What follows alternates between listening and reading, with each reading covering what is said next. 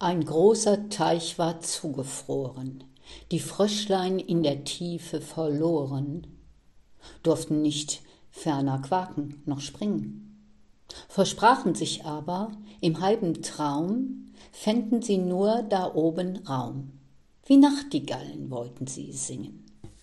Der Tauwind kam, das Eis zerschmolz, nun ruderten sie und landeten stolz und saßen am Ufer, weit und breit, und quakten wie vor alter Zeit.